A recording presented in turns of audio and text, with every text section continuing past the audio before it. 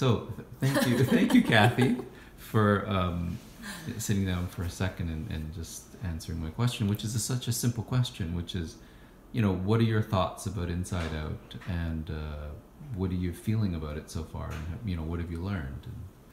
Um, what I didn't expect Mhm. um, was just how closely we would connect with each other. Mhm. Um, so other like-minded academics, Mhm. um, you know, people who are interested in the same subject and issues. Um, but then also how quickly we connected with the inside students, and I think that that's largely a function of um, the purpose um, and really how Inside Out is set up. Um, you know, obviously considering how you very quickly try to bring inside and outside students together um, into a shared environment where Mhm. they can learn with each other. Um, so really trying to take two very different groups and find that common ground.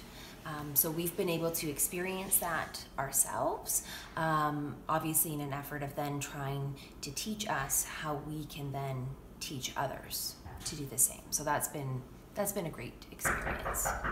Thank you.